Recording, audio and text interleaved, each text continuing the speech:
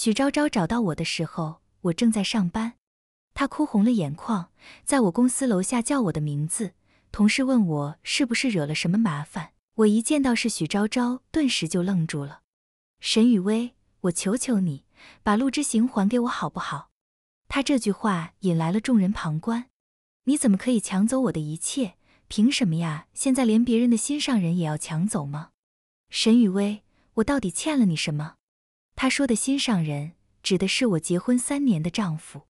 同事们对我的议论一重盖过了一重。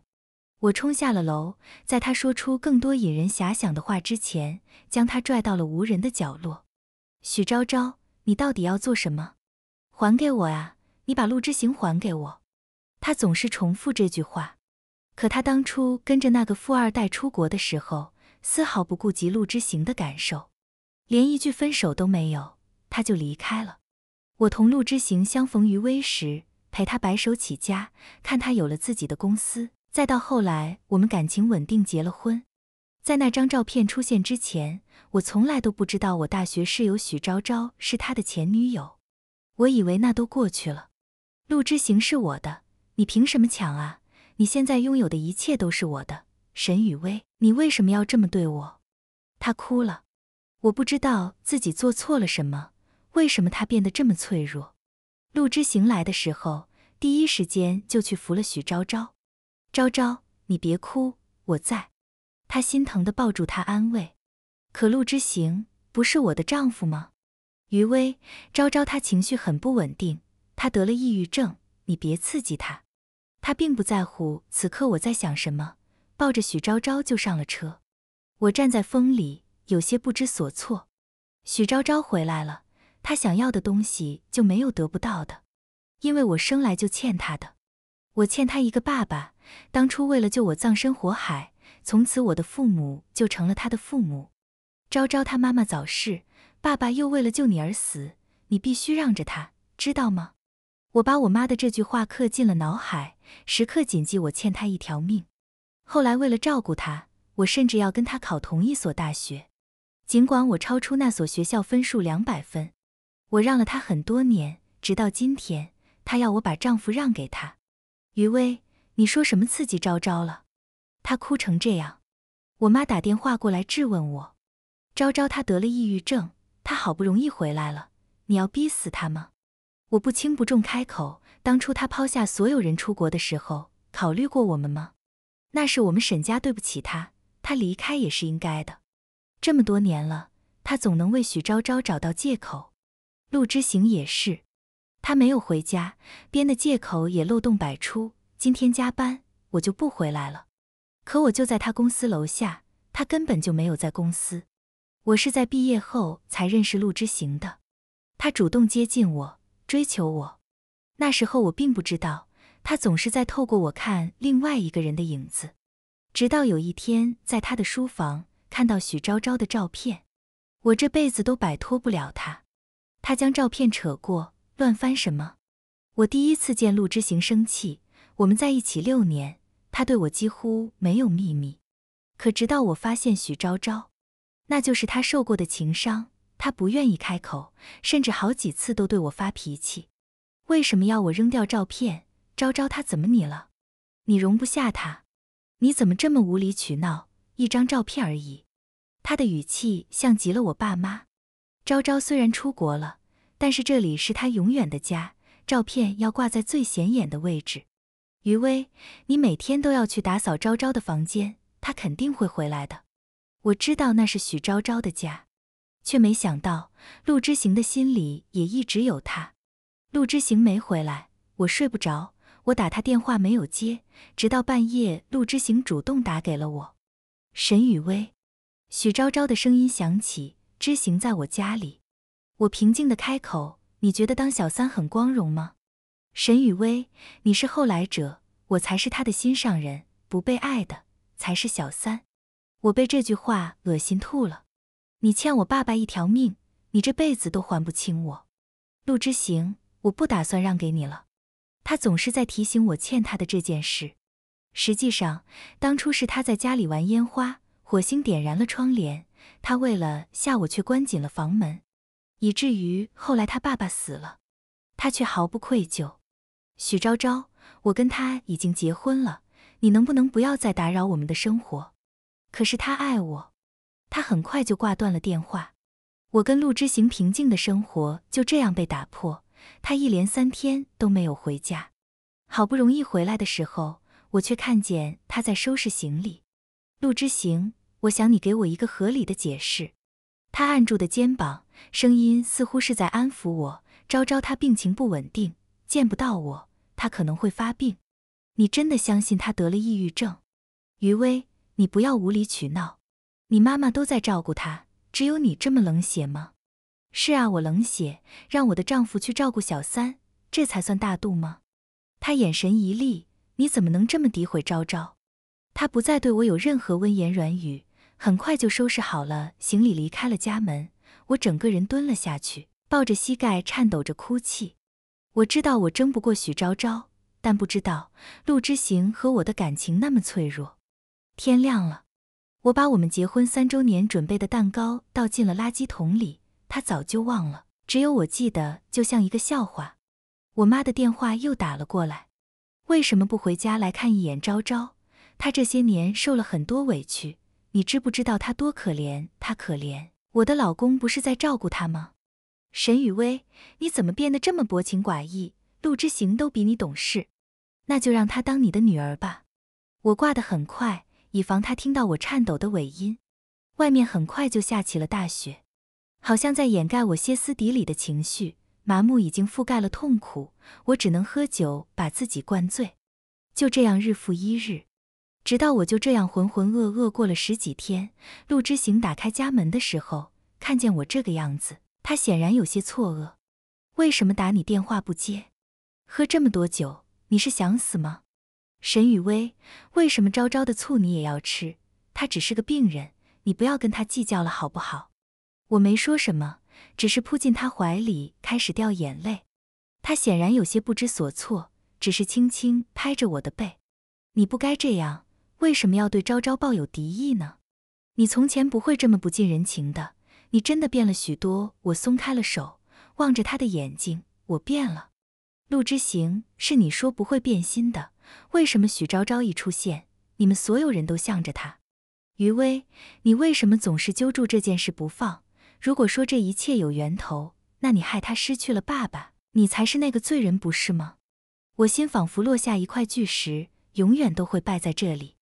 我自嘲的笑了笑，对我欠他的，欠他一辈子。他又抱紧了我，好像同从前一样。每当我生气的时候，他给我一个拥抱就能把我哄好。可是这个拥抱现在夹杂了太多别的东西，他是为了许昭昭来安慰我。你怎么这么烫？你自己发烧了都不知道。他似乎很生气，他马上给我找了药冲泡给我喝下，紧贴着我的额头感受我的体温。我记得很多年前一个雪夜，他也是这么抱着我的。那时候家里没有存药。他背着我去楼下买药，可那时候太晚了，很多药店都关门了。他背着我走了很久的路，才找到医院门口。我想他是爱我的，可这样短暂的温存，在夜里就被打破了。好，昭昭，你别害怕，我在，我在，我马上来。许昭昭又打电话过来了，他向我解释，昭昭出门来找我，不小心迷路了，我得去找他。我紧紧攥着被子。陆之行，我发烧了。他眼里似有不忍，但还是坚定说道：“她一个女孩子在外面不完全。那我呢？”我反问他。他深吸了一口气，冷冷道：“我都跟你结婚了，还要怎么样？你要亲眼看着昭昭去死吗？”陆之行离开的很决绝，就像奔赴他失而复得的爱情。我拖着笨重的身子，一个人去了医院。周琦见到我的时候。有些不可思议，余威，你为什么看起来这么憔悴？我无所谓的笑了笑，发烧了而已。后来我看着体检单上的报告，顿时动也动不了。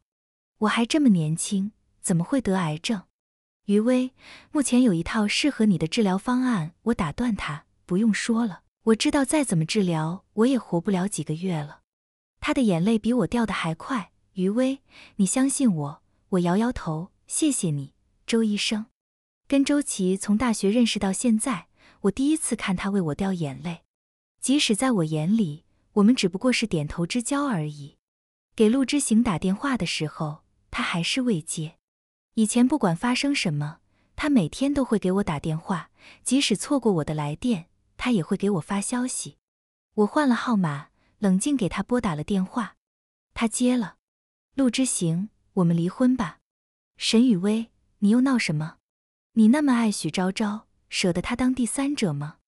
我们又何必在这里互相试探折磨？我不同意。陆之行真的很奇怪，这是我给他的台阶。即使我不提离婚，我们名存实亡的婚姻也会让我们的感情裂成一地的碎片。可他不同意，又能怎么样？许昭昭会同意的。你来做什么？我找到了陆之行给许昭昭买的房子，他将她安置在这里。你想跟陆之行结婚吗？我开门见山。你是来挑衅我的吗？沈雨薇，他迟早会跟你离婚的，你别得意。我已经提了离婚了，可他偏偏不同意。许昭昭握紧了拳。沈雨薇，你在炫耀什么？当初如果我没有离开，你有资格遇到他吗？到这时候了，许昭昭还觉得我是在炫耀。我真恨当初那把火怎么就没有烧死你。他恶狠狠盯着我。你终于承认了是吗？对我就是想戏弄你，我想看你狼狈，可偏偏为什么是我爸爸遭受了这一切？他哭了出来。你欠我的知道吗？你这辈子都欠我一条命。他想冲过来打我，我反而躲开了。他被茶几绊倒。昭昭，陆之行出现的很及时，看到他的额头被撞出了伤口，很是心疼。沈雨薇，谁允许你到这里来的？你又来刺激他什么？我冷笑着，离婚啊！你这么爱他，还不答应跟我离婚？许昭昭拦住陆之行，不，别离婚，是我的错，我没有想过插足你们感情。他抱着他安慰，你没有错，昭昭。沈雨薇，这是你逼我的，他多无辜啊！离婚说成迫不得已，只是为了保护他爱人而已。离婚冷静期一个月后，搬家的时候，周琦来帮我。陆之行看着有些怒气，你就是为了他才跟我离婚的是吗？周琦的车停在小区外，他因为好心来送我，却被陆之行污蔑。沈雨薇，你竟然出轨！我跟周琦认识这么多年了，陆之行知道我们止步于友情，清清白白。陆之行，你自己的罪名还要扣在我头上吗？我不再理会他，上了周琦的车，由着他带我去医院。可有些时候，命运偏巧捉弄人，不想见的人总是无时无刻出现。我看到陆之行陪着许昭昭来医院了，他们挂的是产科。我握着手里的单子，看着他，却觉得有些讽刺。他盯着我手里的单子发问：“你来医院做什么？”我将癌症报告单挤成一团，扯了扯嘴角：“恭喜你啊，要有孩子了。”许昭昭在他面前永远是一副楚楚可怜的模样。就好像我会把他生吞活剥了似的，我很疼，是生理上的疼痛占据了所有理智的情绪。周琦出来的时候扶住了我。沈雨薇，我们才刚离婚你就找了别的男人，我真是小看你了。周琦想帮我解释，你知不知道他？我皱着眉摇摇头，不要说。我能感受到陆之行的目光有些灼，似乎在痛恨我的背叛。毕竟我跟周琦在大学时。被大家开过玩笑，我们彼此没有捅破的窗户纸，在毕业后因为陆之行的出现而变得沉默。陆之行向我表白，给我制造无数惊喜，我沉溺在他给我的虚假爱情中，越陷越深，也愿意救赎他被人伤过的曾经。后来我才知道，他接近我是因为许昭昭，他忘不了他，爱他，多么讽刺的理由！我看着镜中的自己。苍白没有血色，鼻血不断往外涌，掰着手指算我还能活几天。我妈打了电话过来，昭昭怀孕了，她也算你半个妹妹，你过来照顾她。我止住了流血的鼻子，喉咙干涩的不像话，才轻吐出几个字：我的丈夫已经让给她了，难道还不够吗？沈雨薇，你发什么神经？你跟陆之行已经离婚了，说什么让不让的？现在他情绪好不容易稳定了，需要人照顾，你连这点同情心都没有吗？他劈头盖脸说了一顿，好像有错的还是我。妈，我好疼啊！这句话说出去的同时，只剩下嘟嘟的声音传来，他早就挂断了。我疼到眼泪砸在地上，抱着洗漱台干呕。我多么希望我还能活到新年，能看到烟花盛放的灿烂景象。余威，不许拔针了，知道吗？周琦的声音带着一些不忍，会好起来的。可我知道自己好不起来了，我不想浪费钱，我想在生命的最后时刻看看春暖花开。周琦，我还能看到春天吗？他吸了吸鼻子，好像有些哽咽。当然，我才不信。小年夜的时候，外面放起了烟花，趁着周琦没注意，我又逃出了医院。沈雨薇，你在哪？破天荒的，陆之行给我打电话了，跟你有什么关系？你跟那个周琦同居了，家也不回。我怒极反笑，那是我的家吗？你和许昭昭睡觉的时候，难道还要我躺中间吗？陆之行电话那头被我气到了。沈雨薇，你发什么疯？关心话听不出来吗？我倒是没听出来他话里的关心，他好像就是来给我添堵的。说完就挂断了电话。周琦给我发了消息，我说我想自己走走。不用找我，可我走着走着就看到了陆之行。你怎么知道我在这里？他唇线紧绷，不由分说就过来拉住我。你的手机被我安装了定位，你以为我不知道吗？每天都往医院跑去见那个周琦，你亲生父母都不见了。我想起我的手机还是陆之行买的，你跟踪我有意思吗？他粗暴地把我塞进车里，没有任何感情的开口。我不允许你再见周琦，你有什么资格管我？车子已经启动，他的侧脸依旧冷峻。就凭你是昭昭的家人，他语气冷冽。你不回家，你让别人怎么看昭昭？很快，他就把车开到了我爸妈楼下。小年夜的氛围很是温馨，但是在我进门的那一刻，他们的笑容都僵住了。还知道回来？不知道的还以为你没这个家了。我妈讲话依然带刺，我爸没说什么，只是笑着让我赶紧坐下吃饭。许昭昭嘴角耷拉着，眼底里满是厌恶的情绪。你也没什么事做，回来照顾一下怀孕的昭昭不行吗？都是一家人，你怎么能这么冷血？我没有任何胃口吃饭，冷冷一笑。我的老公变成了我的妹夫，你还要照顾他们的孩子是吗？我妈立马就拍了桌子。沈雨薇，昭昭现在跟陆之行是合法夫妻，你再敢乱说，就给我滚出家门！餐桌的氛围很快就冷了下来，我强忍着疼痛笑了笑，这本来就不是我的家。我离开的时候，陆之行想留我。许昭昭一掉眼泪，他立马就甩开了手，他总是这样摇摆不定，我恨自己没有早点看清。我离开了那个不属于我的家，一个人在大街上孤独的走着。周琦打了好多个电话过来，我终于还是接通了。余威，你现在的身体状况不能乱跑，你知道吗？余威，余威，你怎么了？你别哭，我马上过来。后来我还是被周琦带回了医院。再过几天就要过年了，我想起去年过年的时候，陆之行在江岸边给我放了一个很漂亮的烟花。他说我们每年都要这样。那时候他抱着我。许下的承诺万千，我也以为自己遇到了良人，却在许昭昭来了之后全被打破。就像我爸妈很爱我，可只要许昭昭一出现，我就欠他的。他不要的，如果有一天他想抢走，也是可以的。我躺在病床上哭，隔壁床的小女孩听到了我的哽咽声，她慢慢的走了过来。姐姐，你别哭。她从手心里掏出几块糖果。我妈妈说了，吃点糖会好起来的。小时候我觉得中药苦，我妈总会说吃点糖会好起来的。后来家里剩的糖果都要给许昭昭，因为她哭了。她说她爸爸在世的时候给她买的就是这种糖果。我妈心疼她，就把我那一份也给了她。明明家里不缺这一颗糖，可是许昭昭要什么都有，因为我们全家都对她愧疚，所以想办法弥补她。给她买最昂贵的裙子，报最好的兴趣班，我什么都没有。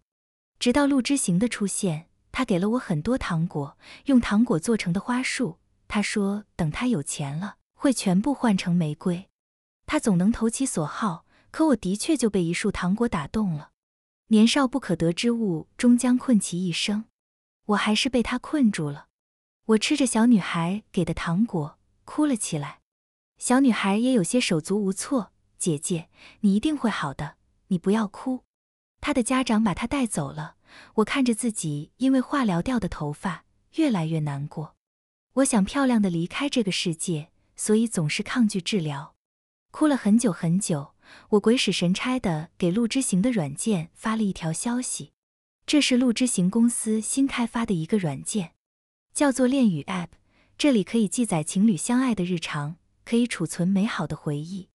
六年来，这里上传了我们将近上千张照片。我们会把每一个纪念日或者有趣的事情记录在这个软件里。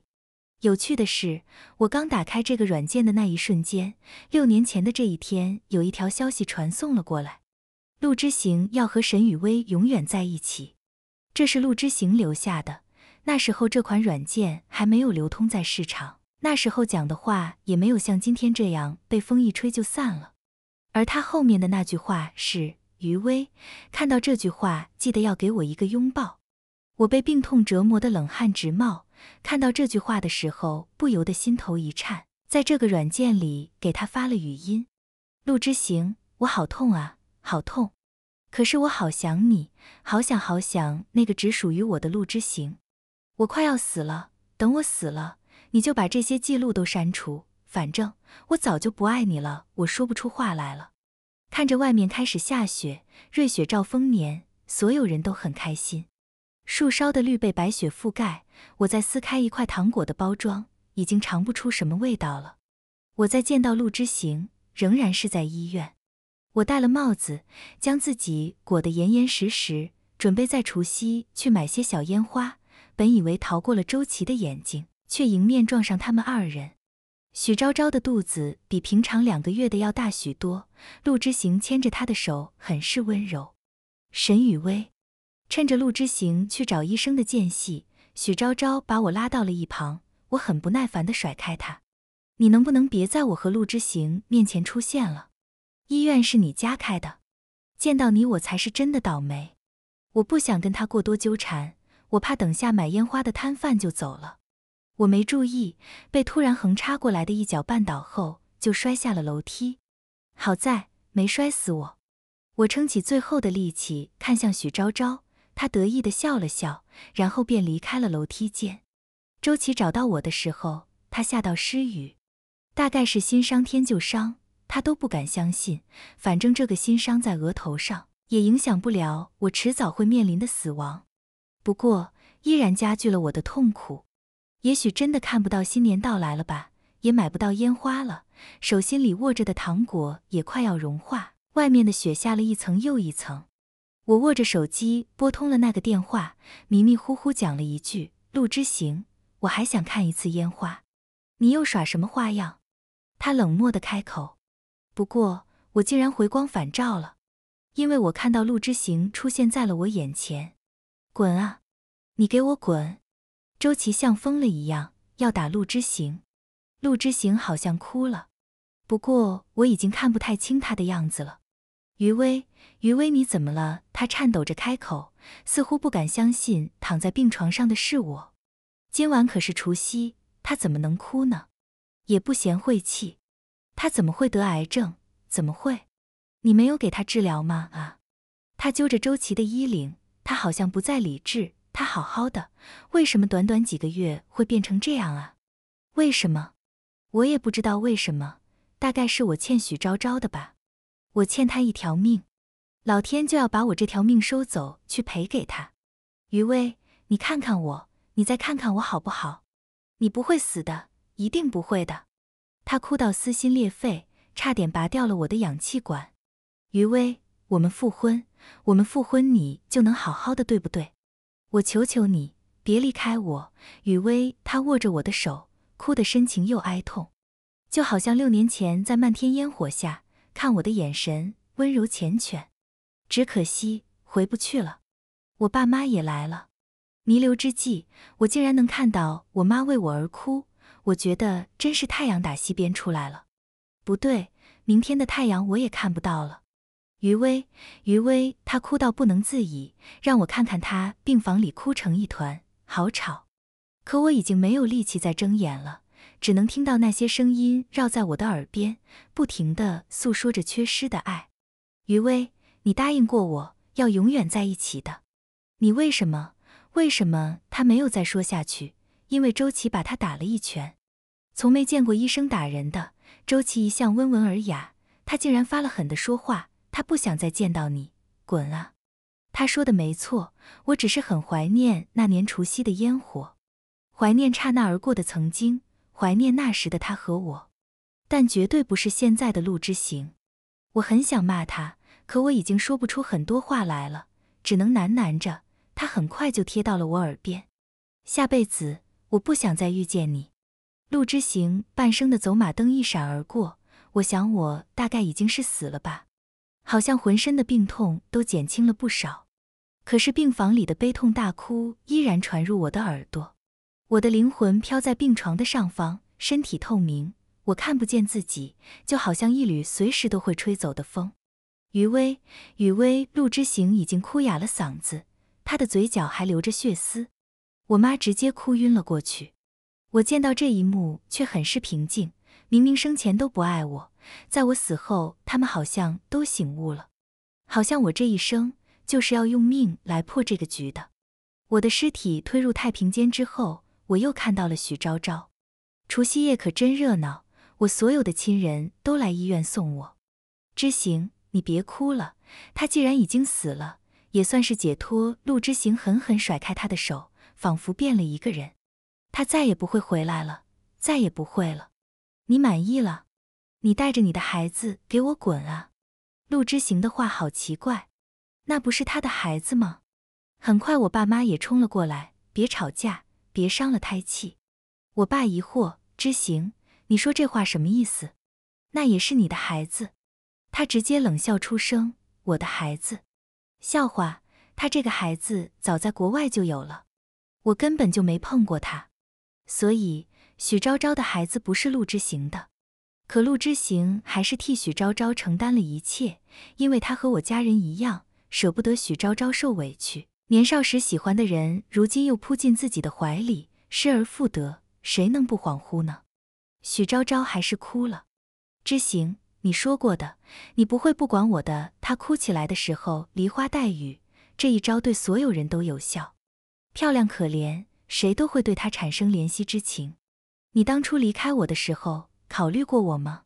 为什么我和余威的生活正常了，你就跑回来？你为什么不肯放过他？他欠你爸爸一条命是吗？他现在还给你了呀。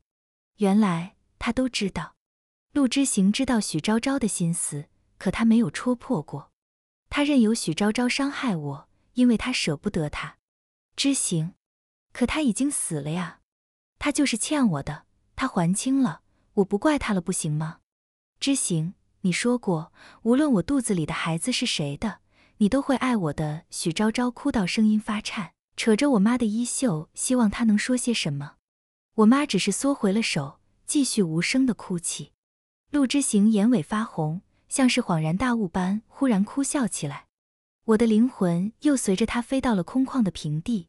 他买了好多烟花，可惜都没有那一年那样盛大。他心绪迷离，看着烟花傻笑起来。余威，你看，我们的第七年来了，我们没有熬过七年之痒。这烟花一响而散，我在乎的那个人也早已不是当初的那个人了。他似乎又想起了什么，打开了那个叫恋语的 app，他也收到了那条来自多年前的信息：陆之行要和沈雨薇永远在一起。在映入他眼帘的是那几句我被病痛折磨的苦不堪言的时候，一些胡言乱语。陆之行。我好痛啊，好痛！可是我好想你，好想好想那个只属于我的陆之行。我快要死了，等我死了，你就把这些记录都删除。反正我早就不爱你了。他像是疯了一般，开始对着那款 app 不停的给我发消息。余威，你别怕，我永远陪着你。你还在跟我说话，你肯定没生我的气，对不对？余威，别离开我。这便是我在新年到来之际听到的最后一句话。可惜我的灵魂也随着那些盛放的烟花一样，升到高空之上，被风雪覆盖，再也看不清回家的路。不对，那本来就不是我的家。第三视角：沈雨薇死后，陆之行就跟许昭昭离了婚。他什么都想要，于是都失去了。他从前一直认为沈雨薇是许昭昭的替身，他追求她爱她，只是想知道许昭昭的近况。可后来发现，他自己便早已就沦陷在自己设的局里。他爱的是沈雨薇，一直都是。可惜这句话，直到他死也没能说出口。那个记载了他们将近七年岁月的恋语，在新年到来之后再也没有更新过。他想去要回沈雨薇的骨灰，但是沈雨薇早就把他的身后事交给了周琦。他说要离开这片土地。因为他欠了别人，离开这里就谁也不欠了。沈雨薇的妈妈好像记忆消退了不少，头上生出了许多白发。这是我给微微买的裙子，这是微微喜欢吃的糖果。那条裙子只有十三岁的少女能穿得下，而沈雨薇也尝不出糖的甜味。可惜这个中年妇女喃喃着，觉得这样做能弥补些什么，只能每天在那里对着沈雨薇的照片傻笑。陆之行看着一切，麻木又平静。他们都失去他了，就在雪夜的除夕，他下辈子都不想再遇见他。爱与恨总是交织。他又准备了很大的一束糖果花朵。花店的老板娘笑着说：“你女朋友一定会喜欢的。”他摇摇头：“她是我的妻子。”老板娘说了许多好听的话，让他很开心。在沈雨薇死后，他似乎很喜欢向所有人去证明。他有多爱沈雨薇，可这于事无补。陆之行，我求求你，让我见你一面行吗？电话里，许昭昭哭成了泪人。她怀着身孕无处可去，只能找陆之行。她从前很有把握，像陆之行这样的舔狗，只要他一招招手，他就会冲上来摇尾巴。后来他实在腻了，又嫌他不够有钱，甩他的时候，许昭昭没有任何负担。只是没想到那个富二代就是玩玩而已，把她搞怀孕之后，给了她一笔钱，让她去打胎。她决定回国找陆之行接盘，他会同意的。毕竟许昭昭一哭，陆之行就心疼到搂着她安慰。他从小到大都被人宠着，自然也懂得如何把控人心。他假装说他有抑郁症，所有人都开始心疼他。可真正抑郁的却是沈雨薇。却没有一个人去关心过。沈雨薇死后，陆之行就变成了一个行尸走肉。之行，我爱你，我真的爱你，你知道吗？我可以为了你去打掉这个孩子，你别不要我，我真的只爱你。陆之行挂断了电话，摸着沈雨薇的照片，仿佛她就在眼前。雨薇，你放心，除了你，我谁也不要。许昭昭后来还是坚持生下了这个孩子。每天就像一个疯子一样跑到陆之行的公司楼下去哭。之行，你看看我的孩子，这是我们的孩子，他大概已经疯了。周琦开车经过的时候见到了这一幕，觉得荒唐又讽刺。可惜他也错过了自己心爱的女孩。人生总是有数不清的遗憾。陆之行最后一次见沈雨薇的时候是在梦里。余薇，你终于肯来见我了，是吗？余薇。你为什么不说话？我好爱你，我真的很爱你啊！他冲过去想拥抱她，却在偌大的房间里抱住了空气。醒来后，他永远的失去了她。林浩第一次骗我是为了沈可，他说他在应酬，其实是沈可被家暴，他带她去医院治疗。五年婚姻竟不如沈可的几滴眼泪。林浩，我们离婚吧，绝对不可能。我已经一天一夜没见到林浩了，桌上的饭菜凉了又热，来来回回好几次。沈阿姨，收桌吧。太太，您不吃吗？在这个家，保姆阿姨都比我的丈夫关心我。包里有张化验单，是我上午去医院测的。孕育新生命的喜悦只持续了两分钟。隔着过道，我看见了林浩，他小心翼翼扶着沈可走进检查室。我坐在过道旁的椅子上，犹豫着要不要等他们出来，当着沈可的面告诉林浩，他要做爸爸了。直到他们从检查室出来，身影消失在走廊的另一侧，我还是保持着刚才的姿势坐着，像一座可有可无的雕塑。我不知道我在怂什么，我又不是他的舔狗。林州两家是平等的商业联姻，我完全可以跟他大吵一架。先爱上的人先输。真是一句至理名言。你怎么在这儿？哑光质感的男士皮鞋在我跟前落定，我抬头看去，林浩蹙着眉，英俊的脸庞满是倦意。哪不舒服？胃疼？怎么又胃疼了？喝了多少咖啡？林浩低头看了眼手表，查了吗？查好了，没什么大事。少喝点咖啡，按时吃饭。林浩抬步往电梯口走，我还有事。感谢您百忙之中抽空敷衍我。他轻笑一声，走进电梯，回家跟你解释。林浩到家已经是晚上十点，他男人打他，我送他去医院。林浩说完，又强调了一句：“我们之间没什么。”他这么讲，我姑且这么信。我只有一个要求，注意分寸，一定。林浩的保证还在耳边萦绕。电话一响，他立刻翻身起床。陆明去医院了，我得去看看。我立马起床，我跟你一起去。对方家属都亮相了，我有什么理由不录一下面？林浩没出声，只是拧着眉头，步伐飞快。我一阵小跑才追上他。你开慢点。林浩一路狂飙，急刹急停，我差点把晚饭吐他车上。你说你跟来干嘛？尽管他收着语气，也足以表达出他的不耐烦。行，我不去了，你往回开，送我回去。林浩叹气：“您能别闹了吗？您能开慢点吗？沈可的婚姻狗带了，拿我俩殉葬吗？”林浩知道他不占理，默默放慢车速。病房里，沈可坐在床上，哭得梨花带雨。陆明跪在地上，哭得比沈可还大声：“我不是东西，我该死！小可，你再给我一次机会，现在说这些有什么用？”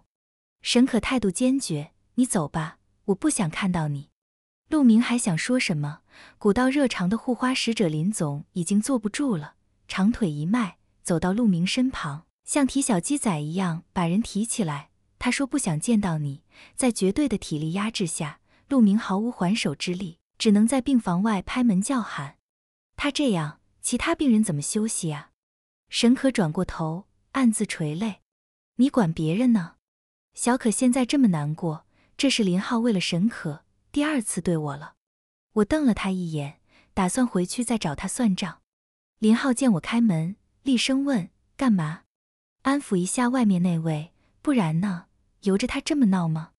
我去便利店给陆明买了点饮料和食物，他也几天没好好吃喝了。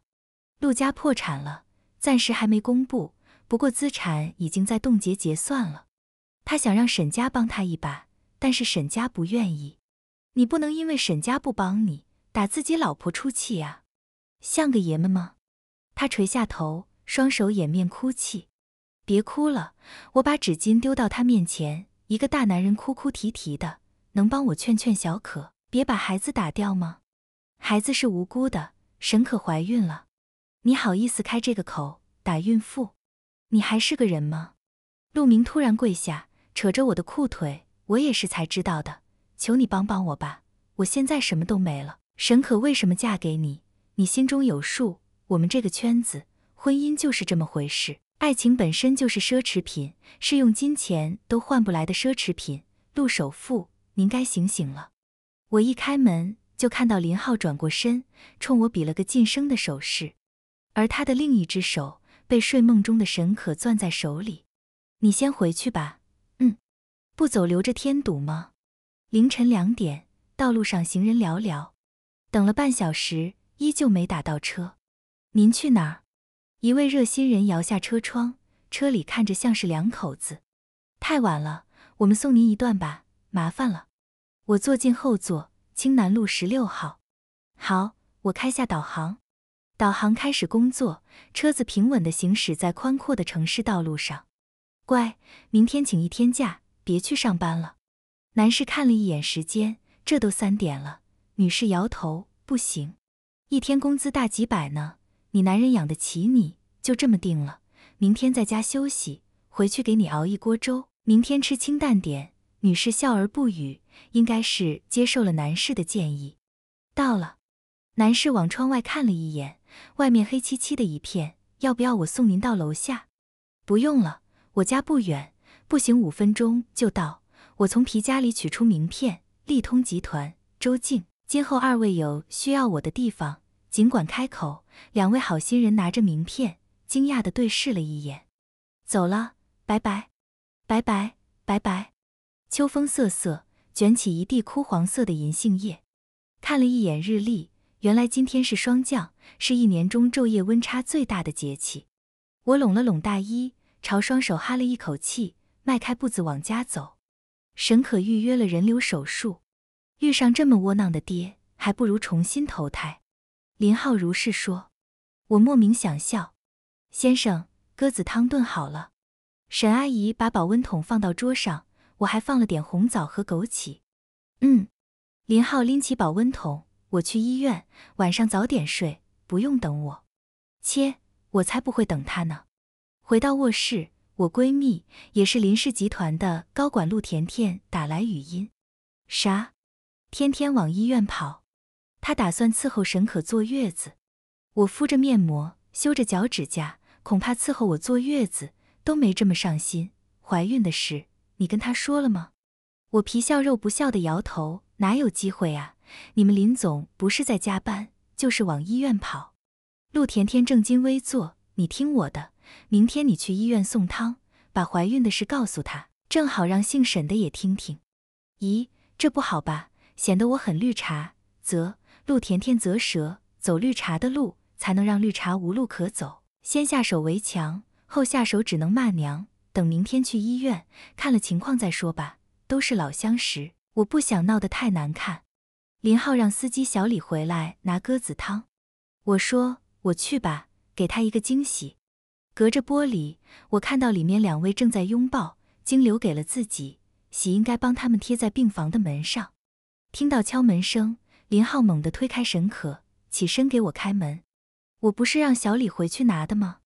林浩从我手里接过保温桶。目光躲闪，语气责怪：“我想我老公了，来看看不行吗？”我为接下来要说的话做铺垫。看到他们抱在一起的那刻，我已经顾不上什么绿茶不绿茶了。阿浩，你还是回去吧，我一个人没问题的。沈可装模作样的劝林浩回去，以退为进是吧？谁不会啊？我顺势也让林浩回去。对呀，你回去休息会儿，这里交给我，你会照顾人。林浩质疑：“你可拉倒吧！”说话间，林浩手机响了，我接个电话。这段时间真是辛苦你和阿浩了。沈可倒是会说话，明明是林浩的功劳，硬是把我给带上，还排在前面。都是朋友，能帮就帮。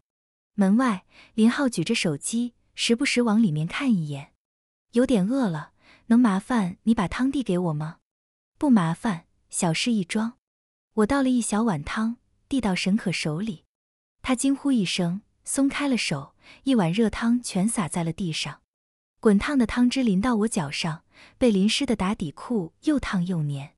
我立刻坐到一边，脱掉鞋子，用湿纸巾擦拭降温。林浩冲进病房，查看沈可的手，烫到哪儿了？烫到脚了。我冲林浩吼了一声：“我没事，都怪我，是我没拿稳。”沈可自责：“阿浩，你快看看小静有没有事，中气这么足，能有什么事？”林浩俯身拾起地上的碎片，扔进垃圾桶。我找保洁来清理一下。阿浩还是这么体贴，我可真羡慕你。绿茶这条路，旁人还真是走不来。陆明也不差啊，没离婚的时候工资上交，离婚以后共同债务一个人扛。周静，你会说话吗？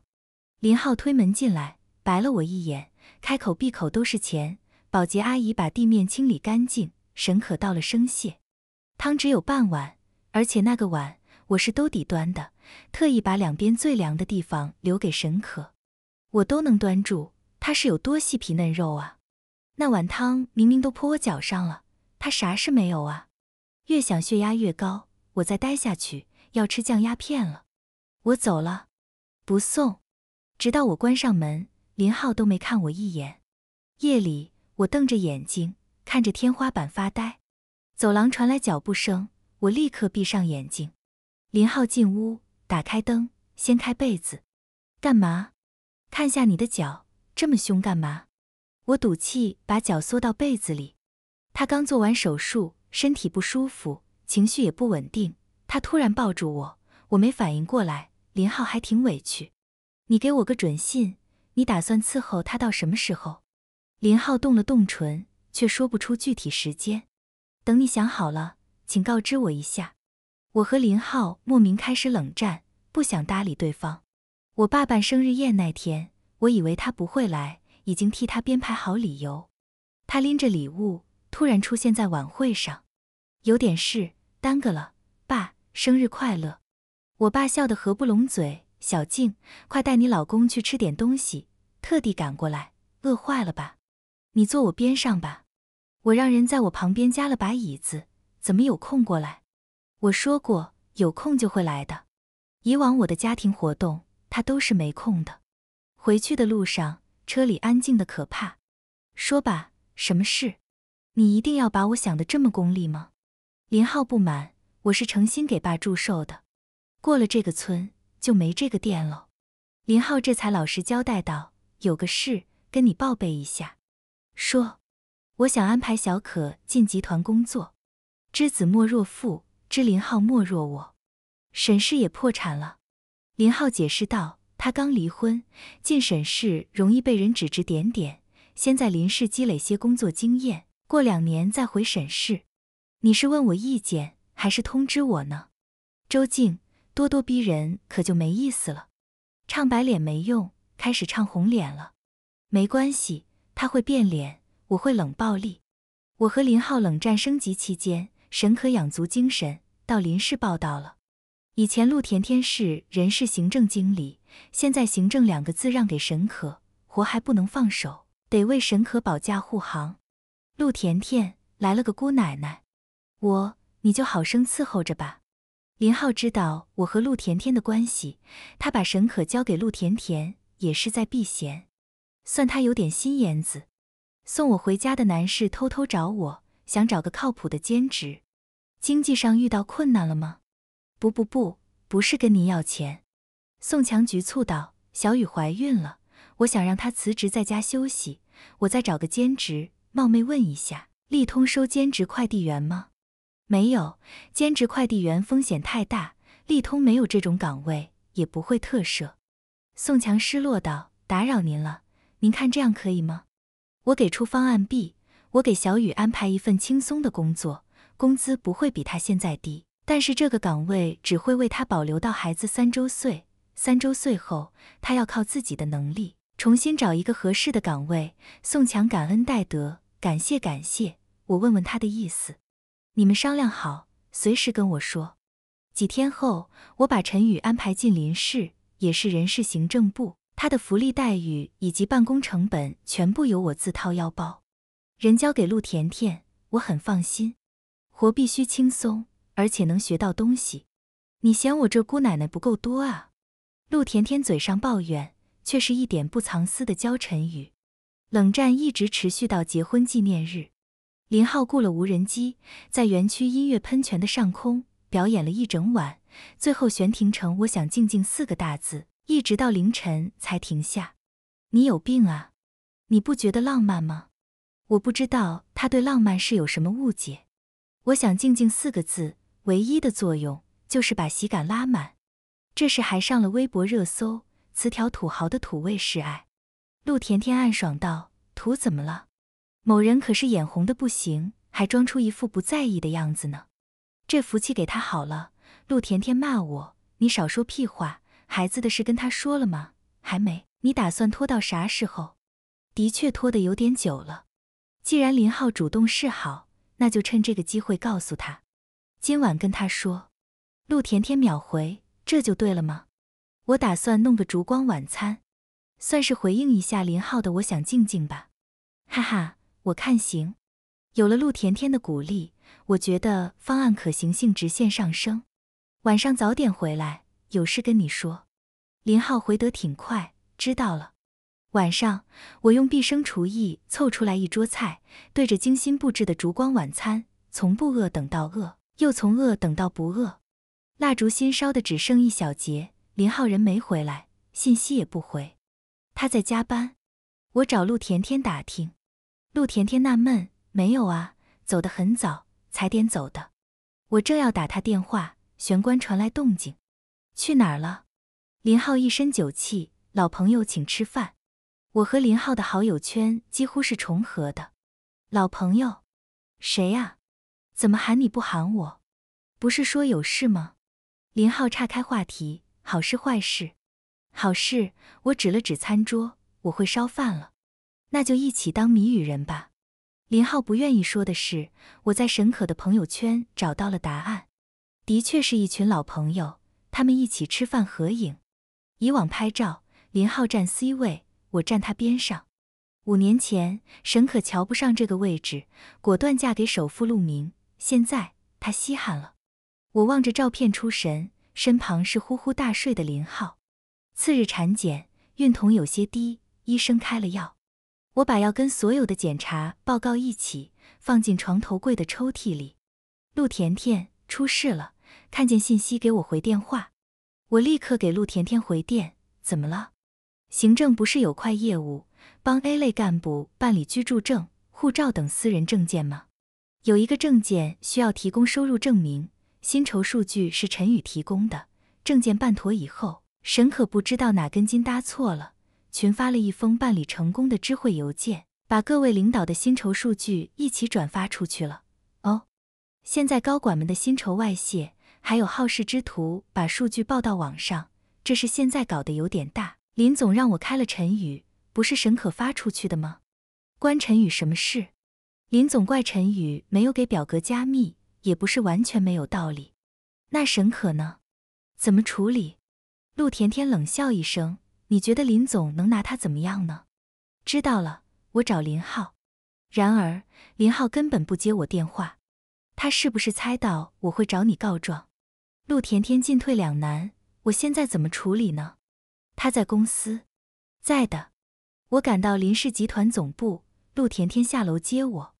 陈宇的操作本来就没什么问题，而且人家是孕妇，怎么开？陆甜甜一路抱怨。沈可闯这么大祸，一点事没有。以后行政人事部到底听我的还是听他的？你也只敢在我面前嚷嚷，你怎么不给林总普普法？陆甜甜冷哼一声，都怪你，早点把孩子的事跟林总说，沈可还有什么机会？甜甜，他是个孩子，不是我绑住林浩的绳子。林浩的办公室在顶楼，单独一间，宽敞又气派。我扣了门两下门，推门进去。让你进来了吗？林浩呵斥一声，抬头看到是我，你怎么来了？办公室里还有一个人，沈可，曾经的京市第一名媛，现在像块狗皮膏药。你们聊，我先出去。不用，这事跟你也有关系。坐吧。我留下沈可，关上门。薪资泄露的事我知道了，薪资再漏也没陆甜甜的嘴漏。林浩还没意识到，那根触发我情绪爆炸的引线已经燃到尽头。又或者他意识到了，但并不在意。陆甜甜的嘴再漏，也没有沈可的绿茶味漏啊！周静，你说什么呢？林浩呵斥道：“给小可道歉。”沈可的眼圈瞬间红了。小静，我们之间是不是有什么误会？林浩，你要开陈宇，行啊。从他入司到孩子出生三周岁的工资及相应的二 N，我个人赔给他。他是我塞进来的人，我全权负责。同样的道理，神可是你塞进来的人，你总要给个说法。林浩冷哼，结婚的时候说好的，公司内务互不干涉。你在我办公室里教我做事，是不是有点过分了？林浩，你拿离婚压我？林浩眉头紧蹙，别偷换概念，我没说离婚，我决定离职了。沈可落下两行清泪。阿浩，别为了我跟小静吵。小可，我要是在自己的公司里都护不住你，以后在京市如何立足？林浩安抚好沈可，冷脸对我，少拿离婚吓唬我，咱俩到底是谁离不开谁？你心里没数吗？我定定地看着林浩，五年光阴如弹指一瞬，他一点都没变，依旧英俊、精明，以及不爱我。是啊，曾经的利通离不开林氏，但是利通为林氏提供了十几年的物流服务，物美价廉，保质保量。今时今日，林氏敢说他离得开利通吗？在我的注视下，林浩不自在地转过头，回家，别在这儿添乱。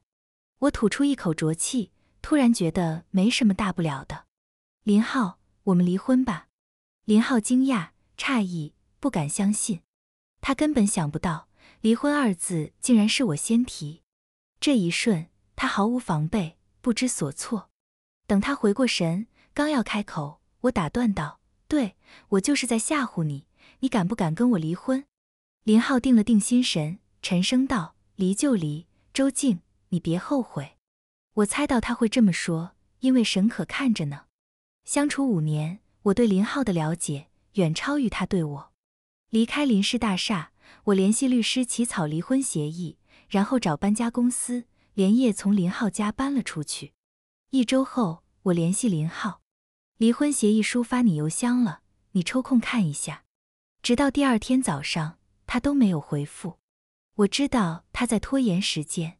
利通和林氏的服务协议快到期了，他在等我低头，但这次我没打算低头。我不仅要跟林浩离婚，我还要让利通跟林氏脱钩。爸妈，利通股东，我和林浩的好友圈，几乎所有人都觉得我疯了。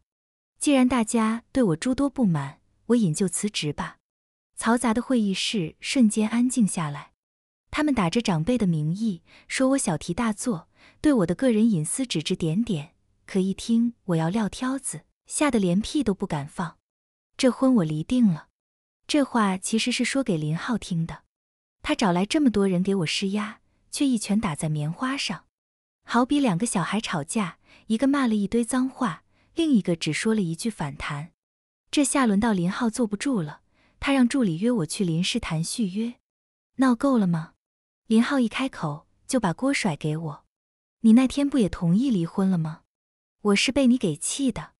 林浩恨恨道：“你为了那个陈宇跟我离婚？周静，你是不是疯了？我们之间的问题是陈宇造成的，难道不是因为沈可？”林浩语塞。我把离婚协议书摆到林浩面前，你还是看看吧，别逼我上诉离婚。林浩把协议书撕成碎片，丢进垃圾桶。离婚是不可能的，为什么？林浩抿唇，看着我不说话，表情委屈，倒像是被我欺负了一样。那林氏还续不续约，取决于你。针对林氏不续约的情况，我是做过预案的，只是没想到这一天来的这么早。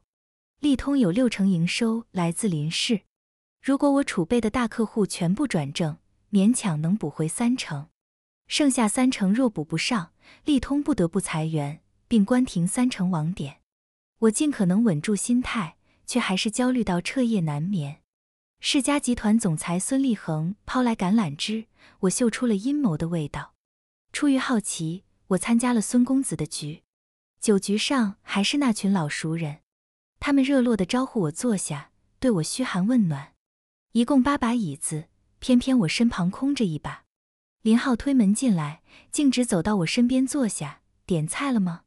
没呢，孙立恒把菜单递给我，你们两口子一起看吧。我接过菜单，放到林浩面前，你看吧，点个酸菜鱼吧。林浩不爱吃酸菜鱼，这是给我点的。孙立恒立刻捧哏，还是林公子知道疼老婆。小静，你也给你老公点个硬菜呗。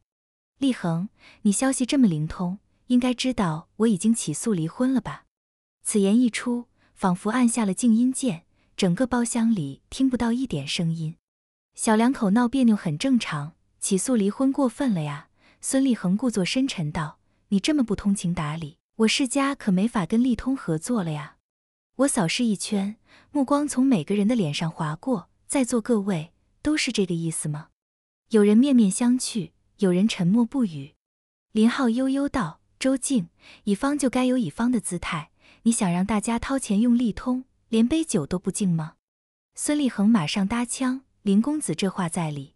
这样，你今天要是能把我喝趴下，世家的物流服务全交给利通。旁人附和道：“是啊，小静的酒量那可是女中豪杰，合作嘛，喝畅快了再谈。我喝不了。”林浩冷笑：“你这么没诚意，就别怪大家小气。我怀孕了。”氛围瞬间凝固了。林浩震惊地盯着我：“你再说一遍。”我喝不了酒，我怀孕四个月了。孙立恒苦笑：“林公子，生米都已经煮成熟饭了，你还在这淘米，想再煮一锅？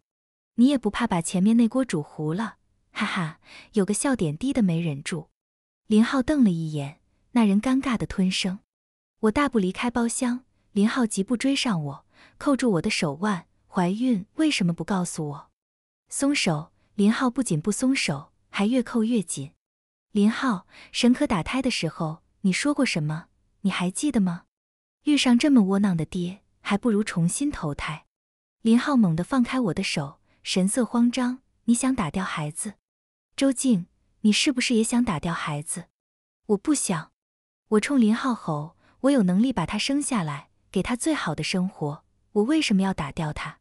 你能不能不要再刺激我了？能不能让我太太平平把他生下来？”林浩大概知道自己说话不中听，被我吼完以后，整个人都安静了，像是被毒哑了一般。我开车回家，他不近不远的跟着，一直跟到我家门口才离开。第二天一大早，林浩的助理带着合同到利通找我说，林浩想尽快续约。我说情况有变，利通承接了新客户，以当前的承载力无法承接林氏的全部业务。周总。林总的意思是，一切以您的意见为准。我正犹豫要不要接。周总，助理小张星匆匆的跑进来，便附耳道：“聚晶集团赵总的助理来电，赵总想请您吃饭。”林浩的死对头，赵东海。我没回复林浩，说要考虑一下，先赴赵东海的约，瞧瞧他葫芦里卖的什么药。我听说过赵东海，海市首富，跟林浩一南一北。瓜分了华国的电商市场。晚上，他为了跟我吃饭，特地从海市赶过来。抱歉，让周总久等了。赵东海笑盈盈地推门进来，他穿着深色的修身西服，整个人高大挺拔，眉宇间透着股英气。我也刚到，坐吧，别拘束。点菜了吗？赵东海没有一点甲方的架子。我们从菜单聊到京市的特色小吃，从小吃聊到景点，从景点聊到风土人情。赵东海突然灵魂拷问：“你不记得我了？”何止不记得，我根本找不到一点关于赵东海的独立记忆。我斟满一盅白酒，拿出乙方该有的姿态：“赵总，我敬您一杯吧。”赵东海端起我的酒盅，一饮而尽。这杯我替你喝了，以后不准喝了。茶足饭饱后。他终于问我：“周总，合作吗？”“合啊！”我还想聊聊细节。他大手一摆：“不用，赵林氏的协议，把甲方改成巨鲸就行了。”吃饭两小时，签约只花了五分钟。赵东海要连夜飞回海市，我送他到机场。临别前，他又问了我一遍：“还没想起来我是谁吗？”我头脑风暴未果，只能尬笑：“赵总，能给一点点提示吗？”“不能。”你怎么忘的？怎么记起来？赵东海抬步往机场里走，再想不起来，我要记仇了。利通的内鬼把消息透露给林浩，林浩来质问我为什么跟巨鲸合作，我反问为什么不能跟巨鲸合作？他语气责怪我和赵东海是竞争对手，你不知道？哦，那你要加油了。我看赵东海做生意比你精明多了。林浩气得挂断电话。冷战不到两天，他又来问我下次产检什么时候，我陪你去。谢谢，不用，我已经起诉离婚了。这一次林浩长骨气了，整整一周没来刷存在感。他最近忙着找新的物流合作商，听说不太顺利。那是当然的，林氏体量大，要求也高。利通为了让林氏满意，在部署网点和分拣中心时是不惜代价的。为林氏提供高于市场水平的服务，价格还要跟着市场走，或者更低。能做到这一点的，只有被我接管后的利通。林浩总以为是他在施舍我，摆出一副高高在上样子。现在想来，也是挺可笑的。京市落了一场百年难得一遇的大雨，电闪雷鸣，风雨交加，路边的大树都刮倒了好几棵。这阵仗我只在海大上学的时候见过。暴雨，海大，死去的回忆突然攻击我。在海大就读时，我把利通的网点开进了海大校园。那四年，我一边读书，一边经营网点。某天回宿舍的路上，看到一个男孩鬼鬼祟祟的贴广告：“飞鱼网，同学开网店吗？”男孩热情的给我推销，现在入驻平台有优惠哦。保安的手电一照过来，男孩瞬间跑没了影。保安大叔上前，骂骂咧咧的撕掉了广告。第二天，老时间老地点，你对这面墙情有独钟啊！哈哈哈！男孩尬笑，我也没办法啊。海报给我，贴我快递车上。男孩对我感激涕零，谢谢谢谢。贴海报的男孩叫石楠，在宿舍排行老二。他们宿舍一共四个人，都在海大读研。飞鱼网是他们的毕业设计，也是创业项目。赵东海那会儿还叫赵坤鹏，是他们的社长，也是飞鱼网的核心主创。印象中，我跟其他人都打过照面，聊过天，只有这位鹏哥。神龙见首不见尾，海市地处南方。到了夏天，暴雨说下就下。那天小张请假，我顶他的工作，冒着大雨，开着快递车，挨个宿舍送快递。送到石南楼下，他一看是我，下这么大雨，你一个女孩子送这么多？小张能送，我也能送。你等一下。石南上楼没一会儿，下来四个头套黑色垃圾袋、脚踩人字拖的男生。你帮我们宣传，我们帮你送快递。那四个男生里有一个是赵东海，世家集团的孙老夫人做寿，孙立恒宴请各界名流，我林浩、沈可都在受邀之列。孙立恒找我的时候，话里话外示意我别跟林浩斗气，跟他一起出席。我说我会出席，但不会跟林浩一起。宴会当天，林浩像块膏药一样贴着我。沈可像块膏药一样贴着他，有点膈应人。我想甩掉林浩，急步离开。沈可突然转身，手里的红酒全泼我身上。宝蓝色的礼服藏不住红酒渍，弄脏的又刚好是肚子隆起的地方。小静，对不起，对不起。沈可扯着嗓子跟我道歉，拿起餐巾没轻没重的给我擦。我新仇旧恨涌上心头，越想越气，抬手给了沈可一记耳光。他踩着恨天高，踉跄了两下，被林浩稳稳扶住。阿浩，我不是故意的，泪眼汪汪，委屈巴巴。周静，你别太过。我瞪了林浩一眼，他立刻收声，没敢往下说。沈可捂脸痛哭，像是受了天大的委屈。所有人的目光都聚焦在我们身上，这么凶，怪不得林浩不喜欢他。你瞧林浩看他的眼神，跟耗子见了猫似的。在外面都这样，在家的多猖狂，连林浩都站在沈可一边，旁人对我闲言碎语也不稀奇了。我不爱做口舌之争，何况身处林浩的主场，争起来也讨不到什么便宜。立恒，今天失礼了，改日我登门给孙奶奶赔礼。孙立恒眼明心亮，没事，他老人家不在意这些。孙总，航班延误，来晚了，真是抱歉。赵东海洪亮的声音从身后传来：“飞鱼四才子都来了。”赵东海和石南站中间，两边是严诺和徐康，连站位都和当年一模一样。小周学妹，石南调侃我：“你一个女孩子，怎么能打另外一个女孩子呢？女孩子打架，老爷们不掺和，这是风度。”严诺一搭一唱道：“石头哥，你懂不懂啥叫风度？”赵东海穿过人群。径直走到我跟前，脱下西装披到我身上。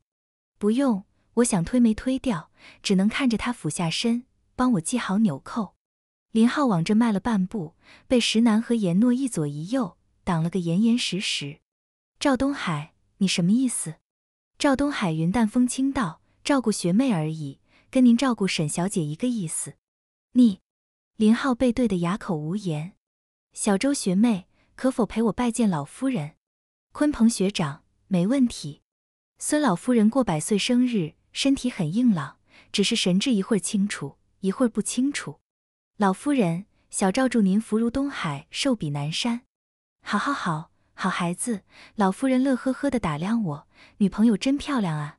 奶奶，我是小周啊，我刚还跟您聊天呢，您不认得我了？小周啊，我昨个还梦见你结婚了，你们什么时候结婚？请奶奶喝喜酒啊，不是做梦。五年前我结婚，您还来观礼了。孙立恒朝我摆手，然后指了指头，又不清楚了。孙奶奶非让我和赵东海坐他边上。林浩来敬酒，沈可也跟来了。小陆啊，孙奶奶热情地拉着林浩的手。我家立恒要是有你一半能干，我就放心了。我以为我听错了。赵东海在一旁发问：“奶奶，你喊的是哪个小陆啊？首富陆家的陆明啊，小沈的老公啊，不是吗？”我和赵东海一边憋笑，一边点头称是。林浩脸色一沉，碍于颜面，还得强颜欢笑。奶奶，我是小浩。宴会结束，去套间换衣服，一出来就看到阴魂不散的林浩。他冷脸质问：“你跟赵东海怎么回事？不是说过了吗？学长照顾学妹，我老婆不用他照顾。”林浩抓住我的手：“你今天必须跟我回去。”林浩，你放手！拉扯间，赵东海来了，放开他。林浩挑衅道：“我们夫妻吵架，跟你有什么关系？”林浩，作为男人，你连陆明都不如。赵东海这句话大概扎到林浩的肺管了。林浩一拳挥过去，赵东海反击，两人当场扭打在一起。住手！别打了！我拉住林浩的胳膊，他一甩手，我后退两步，跌坐在地上。你们别打了，快送我去医院，肚子疼。去医院的路上。林浩脸色惨白，唇上没有一点血色，抱着我的手不停哆嗦。认识林浩这么多年，第一次见他怕成这样。疼不疼？不疼。林浩显然不信，是真不疼。我本就是扶着墙自己坐下去的，为了让他们停手，这也是没有办法的办法。若不是我不屑于搞沈可那一套，就我这演技，毛尖碧螺、春西湖龙井加在一起，都得管我叫声大姐大。连夜做了一套检查，医生对着报告左看右看，没啥问题，指标还比以前好了。林浩连忙提醒他，两小时前摔了一跤，肚子疼。医生拿听诊器听了会，问题不大，以后当心一点。走出医院已经是凌晨两点，来的时候赵东海和石楠各开一辆车。学长们能借一辆车给我吗？石楠让出了驾驶位，老大的车随便开。赵东海一路都挺安静，直到这会儿才开口：“开慢点，有事随时给我打电话。”嗯，我沉默的驾驶，一旁的林浩看着窗外，不知道在想什么。你那晚是怎么说服陆明的？这一问，问得我猝不及防。车子驶出主干道，进入一条更为冷清的支路。我说，在我们这个圈子里，婚姻就是这么回事。林浩目光苦涩地问我。我们的婚姻也是这么回事吗？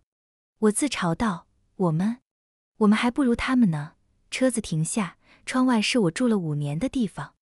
陆明是真心实意爱沈可的。林浩，你爱过我吗？林浩抿唇不说话。知道我为什么送你回来吗？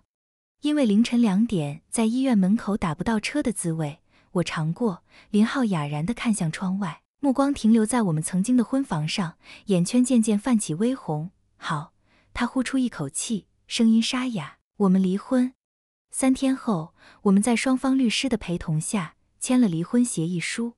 离婚冷静期一到，就去民政部门办了手续。孩子的抚养权听你的。我还以为他会跟我抢。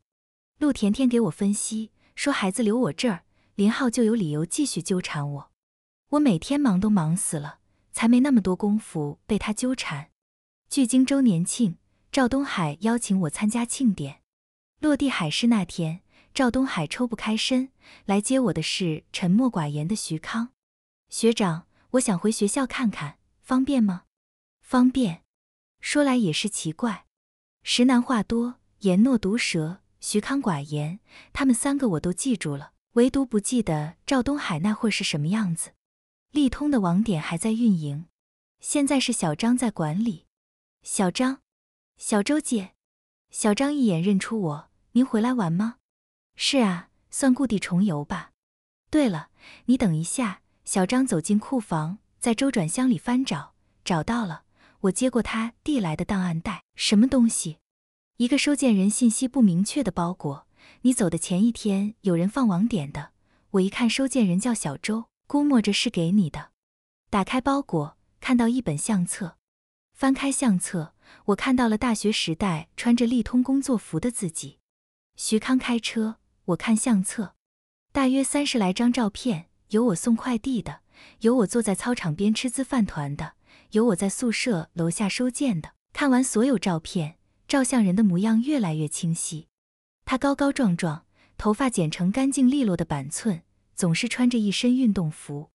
我穿梭于网点和寝室之间，他流连于食堂、操场和自习室。我走到哪儿都是形单影只，有时能落下几声快递小妹。他所到之处总是熙熙攘攘，围着一群女生。某天下午，我正给快递车贴海报，飞鱼网同学开网店吗？报我家快递的名号，入驻平台有优惠哦。他发出一连串的笑声，哈哈哈哈哈！短短七年，他竟然把那条小鱼养成巨鲸了。他找了你整整两年。徐康的声音将我从回忆拉回现实。你嫁给林浩那天，他终于找到你了。大学期间，我住单人宿舍，没有时间参加社团，唯一的朋友就是小张。毕业后。我换了手机号，又把名字周静改成周静。除了公安，恐怕谁都找不到我。我们都成家了，他到现在还是一个人。黄昏时分，我们赶到赵东海家。别墅前的空地上，三个直男正在用蜡烛摆心。都怪老严，知道今天有事，开会还啰里吧嗦的。石楠把锅甩给严诺，严诺不服，你还有脸怪我？不知道是谁。买了一把带金字的红蜡烛回来，害我们下了班还绕路去买蜡烛。我以为老大要带小周上山拜拜。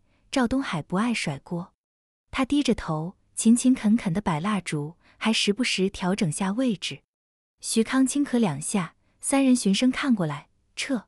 石楠喊了一声，拔腿就跑。另外三个下意识跟着他跑。老大，你跑什么？回去，回去。赵东海尴尬的退回来，掏出打火机，我先点个火。我坐到他边上，帮他一起点蜡烛。照片拍的不错，赵东海的脸红的要滴下血来。你收到了？嗯。我轻笑一声，点亮了最后一支蜡烛。我刚结束一段婚姻，现在肚子里还有一个小家伙，我不介意。赵东海连忙道：“我一定会照顾好你们。”我介意，我需要一点时间。这份感情太贵重了，贸然接受是不负责任的。赵东海会意，好，我等你。周岩出生那天，他的亲爹和干爹正在海外市场杀得昏天黑地。陆大小姐说是来照顾我的，结果来了以后就围着周岩研究这孩子长得像谁。多亏有陈宇忙前忙后给我喂水喂汤，眼睛像林浩，鼻子像你，剩下的都像赵东海。我忍着疼骂了一声：“去你的！”林浩先到一步，半年未见，他瘦了一些，但气色不错。远离沈可后，他又恢复了从前的神采奕奕。林总，您得这么抱。陈宇手把手的教林浩抱孩子，林浩小心翼翼的学。我偷偷往门外瞟，他到了，在门口呢。陆甜甜说话很小声，架不住病房就这么大，在场的又都是听力上佳的年轻人。林浩不舍得放下周岩，关照道：“你好好休息，我过几天再来。”好。林浩一走，某人迫不及待地推门进来：“还疼吗？”他倒是没瘦，头发稍微留长了一点，还留了些胡茬。疼，不过还行。小雨，陪我去买点水果吧。陈宇会意：“好啊，静姐，我们去买水果了。”谢了，这两天辛苦你了。赵东海先看了我一阵子。又起身去看孩子，这娃娃长得像我。滚！全文完。